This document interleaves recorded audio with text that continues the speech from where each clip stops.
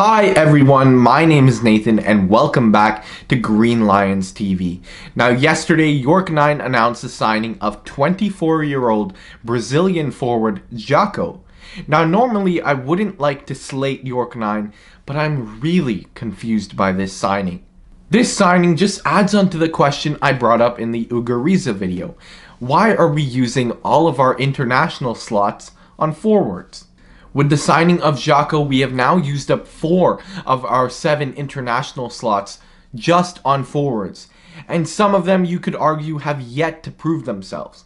With the departure of Telfer and Gattas, we also lost 21 goals along with them.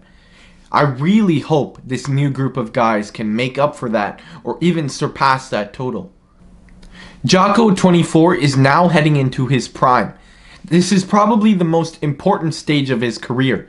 At age 23 to 28 is where players really define themselves. Having spent majority of his career in Brazil, I really feel this opportunity to come to York really came at the right time for him.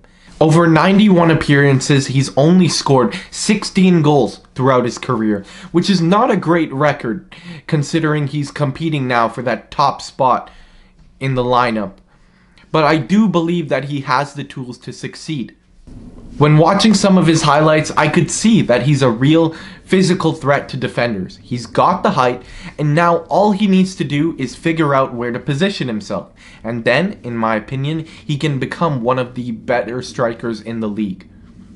So let's just hope he has a great year and a great season and becomes that fan favorite that club president Angus McNabb predicts he will be. So all I want to say is, Jacó, welcome to the Canadian Premier League and welcome to York 9.